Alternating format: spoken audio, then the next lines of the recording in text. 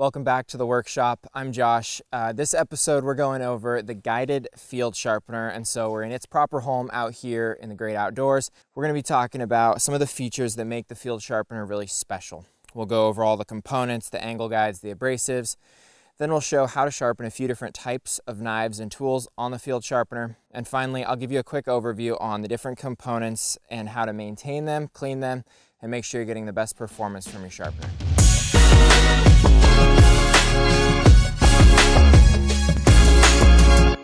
The guided field sharpener starts off with five different abrasives. A coarse 220 grit diamond gives you a great coarse grit for repairs or setting the edge on a really dull knife.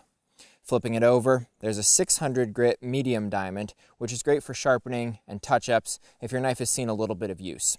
Next up is the ceramic rod. There's a coarse and a fine ceramic rod. The coarse is a corduroy-like surface. It's an interrupted abrasive with ridges, which allows for more surface contact with the blade. You can index the ceramic rod with this red knob, and as I rotate around, I can rotate from coarse all the way to fine, which is a smooth surface for fine honing and polishing the edge. In the middle, there's a groove specifically for fish hooks.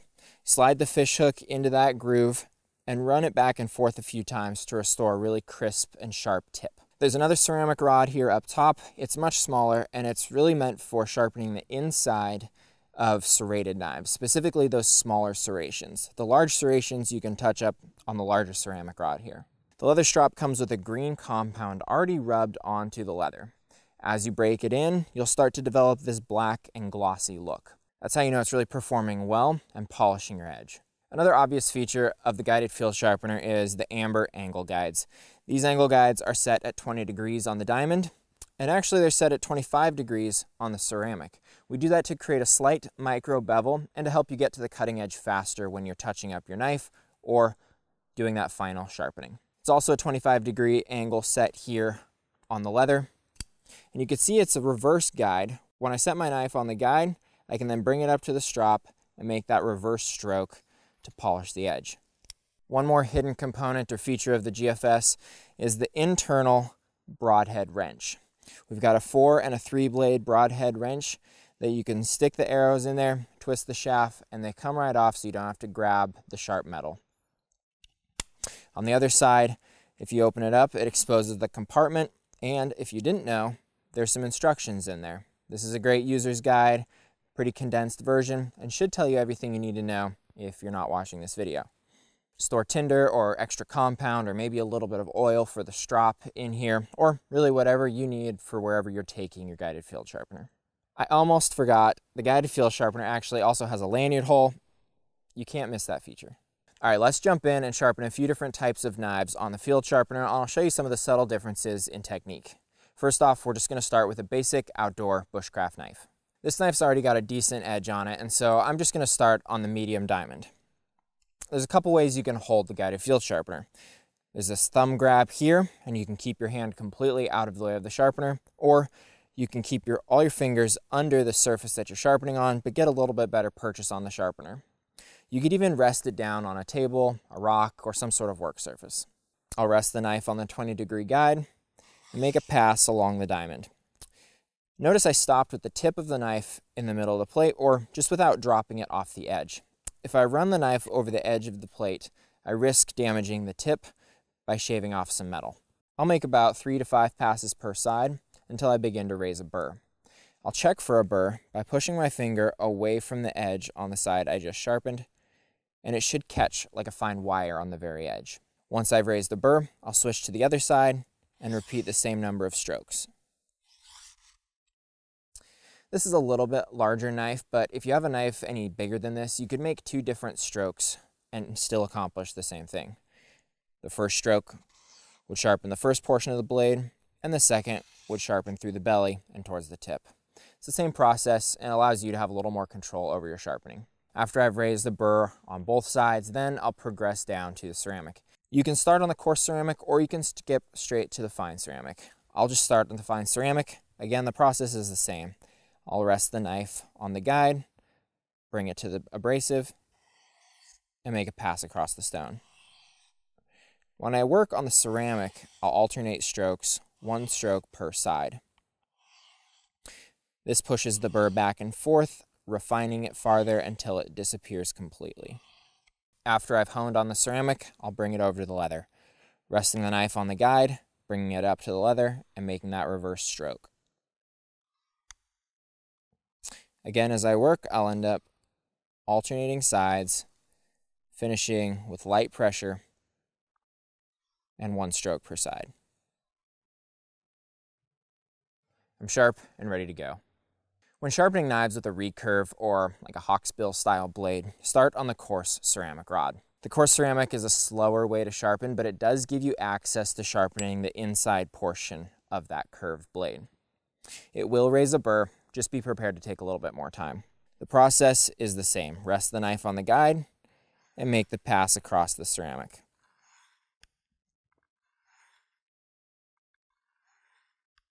Depending on the level of sharpness or dullness of your blade, it may take anywhere from 10 to 20 or maybe even a little bit more strokes per side to raise that burr. Once you have a burr, switch sides and repeat the same number of strokes.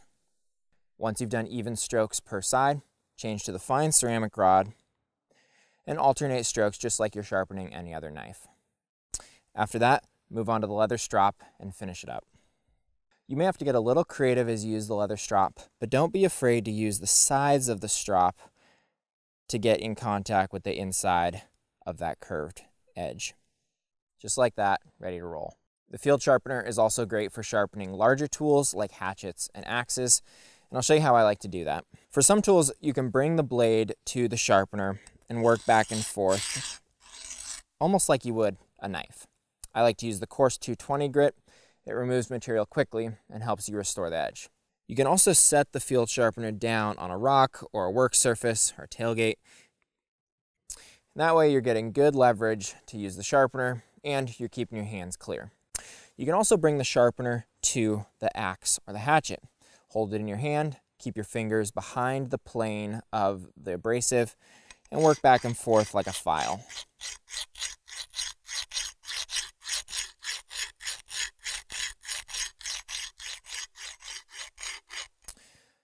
The process is similar to knife sharpening in that you raise a burr and then change to the other side and remove that burr. If you really want to polish the edge, you could probably use the leather strop to shine it up a little bit, but I recommend using something with a little more horsepower.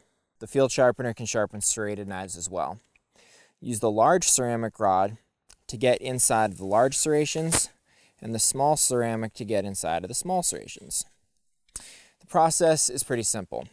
Rest the serration on the ceramic rod and find where it nests in and you can usually feel the angle ground into the knife. Slide it back and forth maybe half a dozen times and then you can check to feel for a burr. The burr will be pushed up like a fine wire, again, just following the inside of that serration.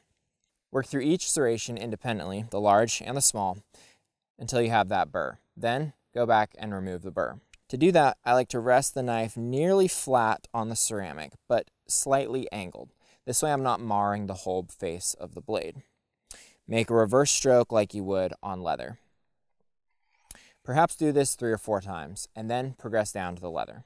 Same process, nearly flat and pulling backwards to avoid damaging the leather. Make sure to pull straight back. If you cut at an angle, you may damage the leather as well. We get a lot of questions about how to sharpen broadheads on the field sharpener and every broadhead's different and they each present their own challenges. The biggest challenge is getting access to those blades or the cutting edges. Once I get my broadhead tightened onto something I'm going to use to sharpen, a little handle or a bit of arrow shaft, then I'll put the plates back on. And I usually start on the fine diamond or skip straight to the fine ceramic. My goal is to get that blade in contact with the abrasive and I'll move it against that abrasive in any way that I can to raise up a burr and to match the existing angle. On something like this, I'll work up and down to restore that factory angle. The process is the same. I'll come in and I'll hone on the ceramic. You can even polish with a reverse stroke on the leather, just like a knife and be left with ridiculously sharp broadheads. Let's talk maintenance. The diamond plates on your field sharpener can be cleaned pretty easy with a stiff bristled brush or soap and water. The diamond on the abrasive is always going to be harder than your knife steel but with heavy use, they do wear down and smooth over, requiring a little bit more heavy-handed sharpening. If you do want to replace your diamond abrasives, you can find those on worksharptools.com. Maintenance for the ceramic is simple as well. You can clean it with soap and water or with a pencil eraser. If you do need to replace the ceramic rod, there's a pin by the red knob here that you can push out. Then the ceramic rod slides out and you can find those replacements on worksharptools.com as well. Last but not least, the leather strop. We do have replacements available for the leather strop. Again, worksharptools.com. But don't underestimate cleaning out the leather strop. If it gets packed with dirt, debris, or knife steel that you don't want in there anymore and you want to reset the strop, use really hot and soapy water to break down the oils inside of the strop and release any of those pieces of debris. Then, once the leather is dry again, apply a very small amount of oil, boot oil, mink oil, petroleum jelly to the strop, and then the compound. Work that in, and like I mentioned earlier, as you work it in, it should develop into a glossy, almost black looking finish. That's when you know it's really well broken in. Here's a few tips for this on-the-go sharpener. When throwing it in a pack, flip your abrasives inside out. They still snap into the frame the same way, and it protects anything in your pack that might get scratched. Be mindful of the magnets on the inside, and when you throw this in your pack, try to keep it away from a compass. If you're out in the field, you might be there a while. If you're out traveling, not into the woods, it's still a good idea to bring the field sharpener. I don't know how many vacation rentals I've been in where the knives are dull. I actually think every vacation rental has dull knives. This is a super fast and portable way to touch up those knives, and it's TSA friendly. Last thing I'll say about the field sharpener, if you're looking to gift a sharpener, this is likely the one. We've heard from so many customers all over the world that this is how they learned how to sharpen a knife. So keep that in mind. Maybe this is the one. Thanks for watching this episode of The Workshop. Let us know in the comments what is the craziest thing you've sharpened with the field sharpener, or what's your favorite feature on the field sharpener. If you're new to our channel, you can hit the subscribe button right here. We post new videos every week all about our sharpeners and sharpening in general, or there's probably another video you'll like right here. I'm Josh, and we'll see you next time.